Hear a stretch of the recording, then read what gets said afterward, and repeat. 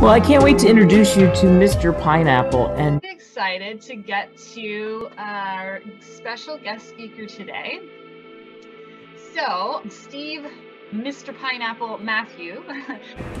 Not having a chat with you, but I wish you all the best. Cheers, mate. That's what you deserve. All the best. Cheers. Thank Hope you, to see you sir.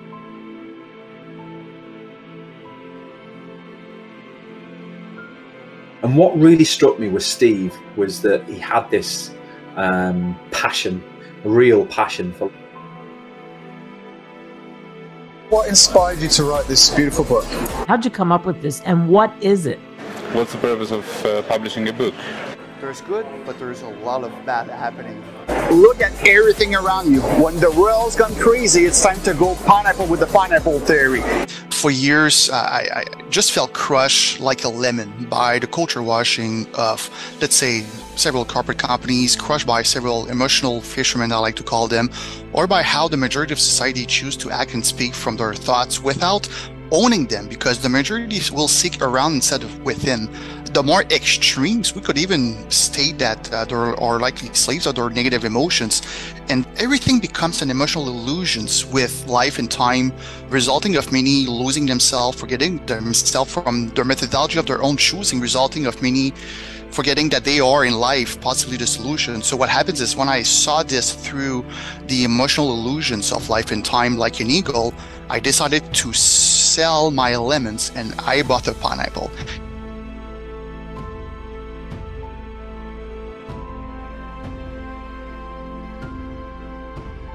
And tell us the pineapple theory.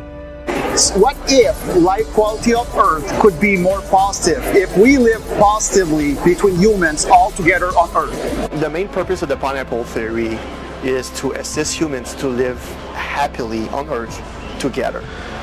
Theoretically, what if adding a pineapple in people's life could assist humans to live on Earth more happily together?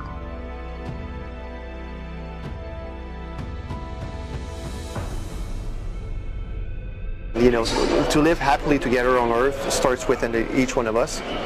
If we are positive inside of each one of us, we become positive with others. I wanted to create something that will be definitely fresh and authentic, just different, um, that would definitely assist as many people as possible on Earth um, to build inside of them a really solid foundation with easy to use principles, tools, and concept to ease uh, the reasoning process with the good and the bad. Um, doesn't matter if it's good and bad that is already inside of us or the good and the bad that is trying to hit us. Uh, but the main intent is to be able to manage it efficiently with reasoning. So to be able to do this management inside of us, um, it's good to have the tools to do some reasoning with intelligence to make that transition from a negative emotion to a positive emotions. And this is an entire process and it connects also with engineering. How, how have you engineered yourself? Engineering yourself means that you've built your foundation. And on your foundation stands a temple. The temple, if we use everything that I'm saying here in Athens, I, I'm inspired to say that your mind is a temple.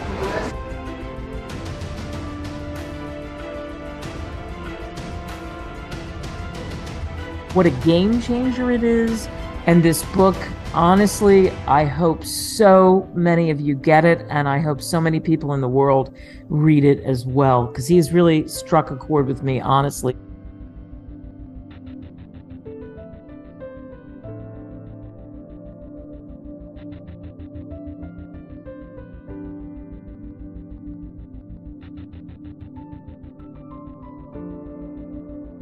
So first of all, what's what's your deal with fruits? The pineapple is is is the inspiration and the symbol Right. So it's a symbol. It's a, a symbol to remind us of that. because what I share is that theoretically everything is like a pineapple. And I sat with the book in my hands and started reading it. And I thought, oh, you haven't quite got the grammar right. You know, the more I think about it, the more it's right.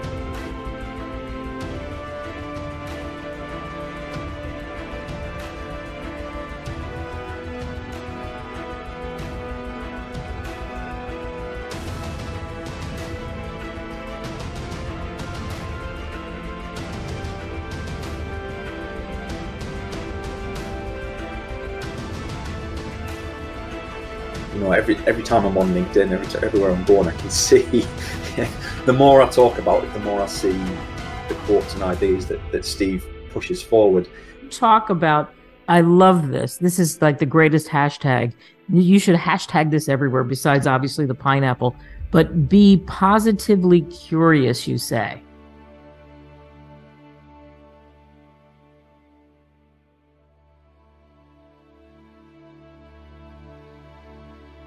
Because you know we're in London and, and, and there's this thing about Londoners from the 17th century where for which uh, it was really difficult to get uh, a pineapple.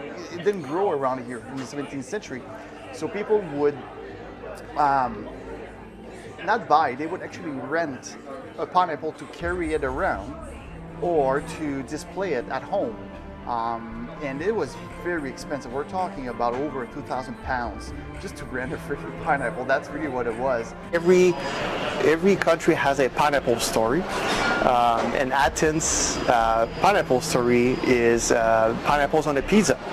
Um, because the one who had this optimistic and very ambitious idea of adding pineapples into a pizza was a Greek Canadian. The mission of uh, Engineers of Tomorrow um, in Canada, for which I'm uh, a collaborator, also a speaker. Um, it really uh, assists in nourishing young minds in becoming the future problem solvers of, our, of, of the world, literally. That's literally what it is. There's so much value in, for an adult to understand what it is because the young ones are our future. It's, that's the next generation. And as much as we put a lot of focus, we should also focus on ourselves to give the best focus to the young ones for that growth. Humans are possibly the solution for everything. Today's generation is tomorrow's generation. If positively fed, it will become a bright future.